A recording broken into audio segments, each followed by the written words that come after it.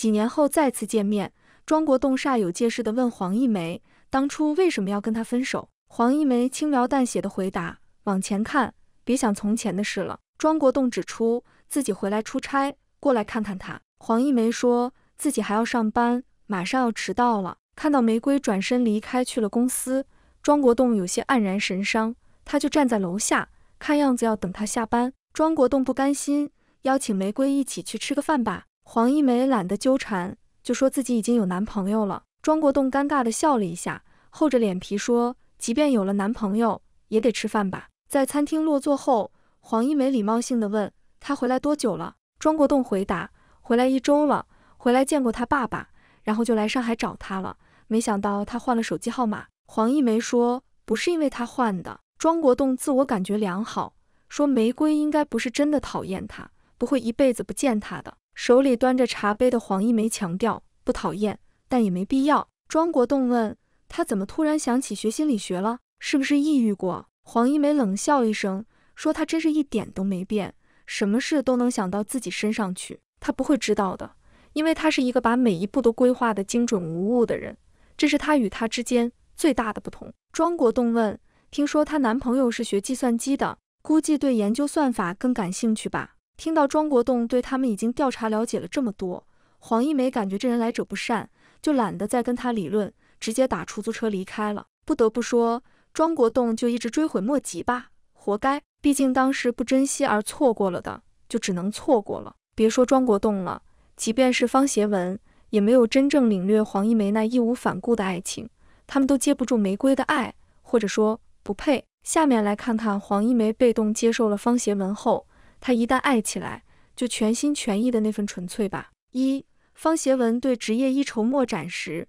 说不想连累玫瑰，没资格爱她了。而黄一梅果断提出我们结婚吧，要知道这需要多么大的勇气啊！二听到方协文说没钱了，黄一梅提醒。登记结婚只需要九块钱。三看到方协文还是婆婆妈妈一大堆，黄一梅出门前说吃完饭记得刷碗，这需要多么有定力呀！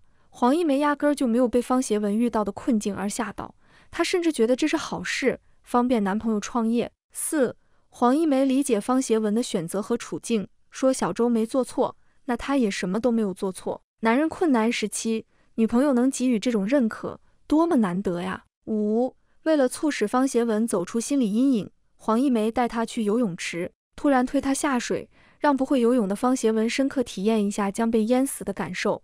其实游泳池的水深只有一个人的深度，人高马大的方协文只要克服了恐惧心理，站直身体就将头部露出水面了，完全没有性命之忧。通过这体验，方协文应该会领会，除了生死，还能有什么大事？六，方协文不忘拉近两人的关系。顺势让黄一梅教他学习游泳。要知道，只穿着泳装，男女之间是会有肌肤接触的。通过这一场游泳，方协文收获不菲。另外，黄一梅还启发鼓励方协文去创业，不但给建议，还直接拿出银行卡资助，并且不惜向哥哥借钱，还希望哥哥有多少就能帮多少，多多益善。看到方协文有些难为情，不好意思接受这些资助，黄一梅美其名曰。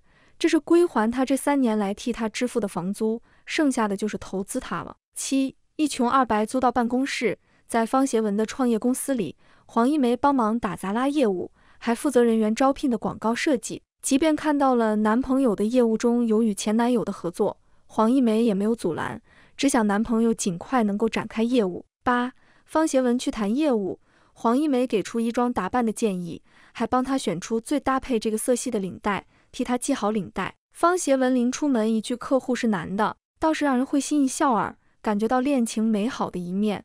其实黄一梅压根儿就没考虑客户是男是女，她对方协文是放心的，才会说他给了她安全感。遗憾的是，婚后的方协文忙于工作，对黄一梅的感情没那么投入了。已经得到了的，就不会再那么珍惜了。